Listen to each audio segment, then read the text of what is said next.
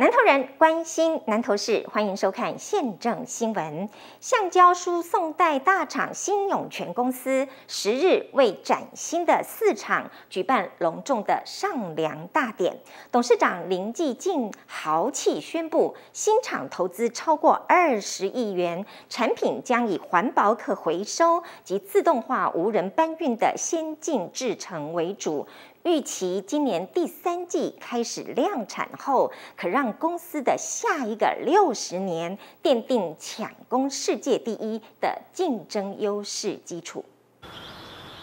新永泉市场上梁大典，由董事长林继进率全体董事以及县长林明珍、国民党南投县党部主委林如冰、南投市长宋怀林等贵宾虔诚上香祈福，并在大梁红彩签名之后。大梁缓缓升起，顺利圆满完成上梁大殿。林董事长指出，新建大楼为地上六层、地下一层，产品将以环保、可回收以及自动化、无人搬运的先进制程为主，预期今年第三季开始量产。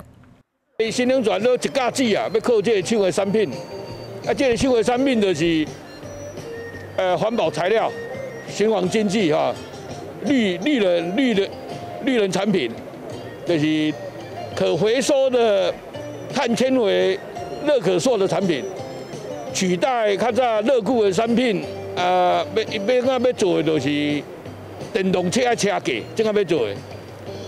啊，都管的冷轻，咱的冷轻啊，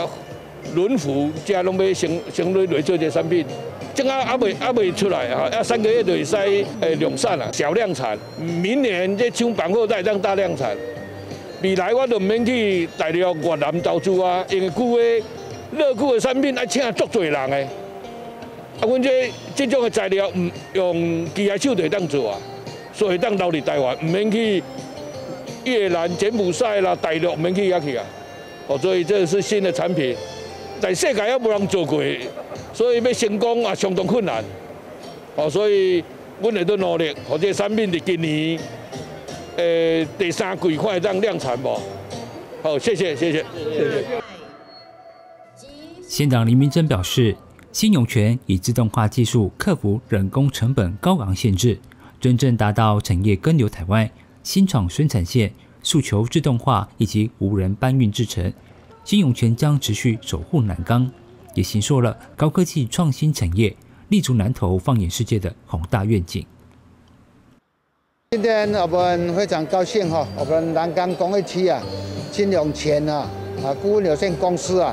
他为了要继续啊创造我们新的产品啊，要把复合金的废弃物啊拿来又再再生利用啊，还要创造新的一些铝合金的啊比较先科技的一些材料哦，他这样的一个创举啊，可以说为我们国家。能够创造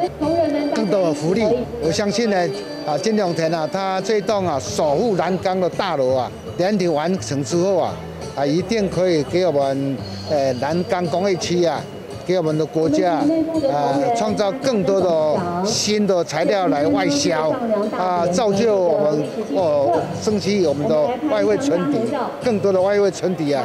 来挹注国家的建设。